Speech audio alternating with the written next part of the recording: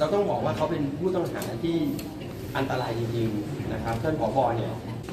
มีมีคนติดต่อผบมาเขาจะขอมอบตัวนะครับ มันก็อาจจะเป็นเหตุบ่งชี้ว่าเขาเนี่ยยังอยู่ข้างบนแล้วก็ยังมีชีวิตอยู่อืม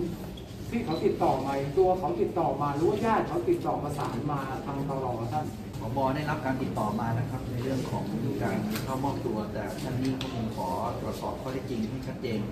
นะครับอีกครั้งหนึ่ง เป็นเป็นทางญาติหรือว่าเป็นตัวคุณไอตัวคุณแป้งเอง ขอให้ทางตรได้ตรวจสอบให้ชัดเจนนะครับ ตอนนี้ข้อมูลหลายกระแสเนี่ยได้ออกมาอย่างที่ท่านผู้ช่วยแมนได้บอกแล้วว่ายังไม่มีข้อบ่งชี้ในเรื่องของการลงมาจากเขานะครับแล้วโอกาสที่จะไม่ยุติภารกิจ แต่ตรงเนี้ยโอกาสที่จะมีการปรับแผนหรือว่ายุทธวิธีในการตามล่าแป้งเนี่ยเป็นไปได้ไหมฮะท่าน เราปรับตามสถานการณ์ตลอดนะครับ อย่างคือพื้นที่เนี่ยมันไม่ได้เป็นพื้นที่ปกติบ่ายสองเนี่ยฝนตกนะครับ